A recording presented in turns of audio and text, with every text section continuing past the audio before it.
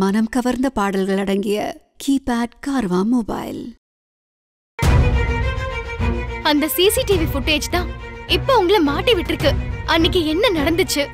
அவன் எப்படி உங்களை ஏமாத்தினான்? சொல்லுங்க. நாம தான் கௌதம் ரேவதிக்கு எதிராக சதி செஞ்சோன்னு சொல்ல மாட்டேன்.